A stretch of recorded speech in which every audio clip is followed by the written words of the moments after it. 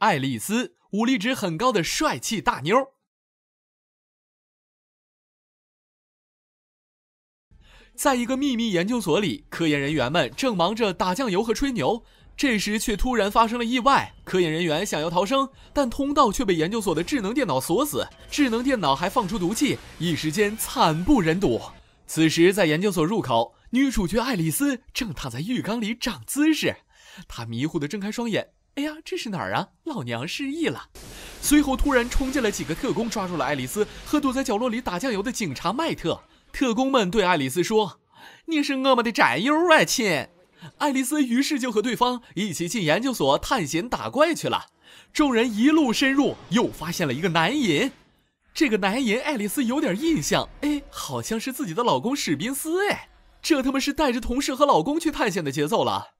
在爱丽丝的要求下，特工队长说出了事情的原委。原来爱丽丝和他们都是受雇于阳伞公司的保镖，可这次研究所不知为什么发生了状况，里面名叫女皇的电脑大开杀戒，女皇还放出可以让人昏迷并短暂失忆的毒气。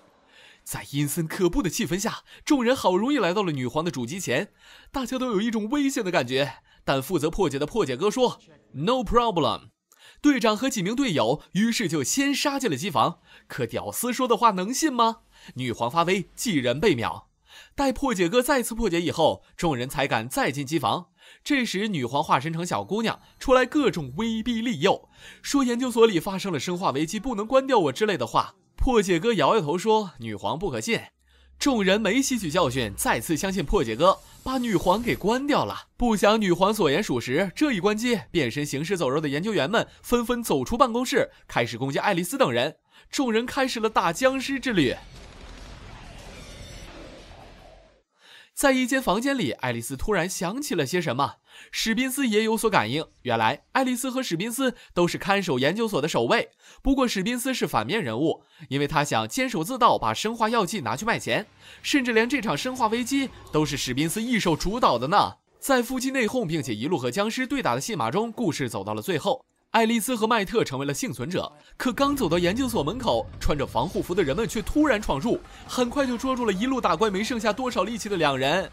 这样的结尾，简直就是第二集在向观众愉快的招手嘛！关注微信“快看电影三六五”，输入电影名称就能看到完整版了。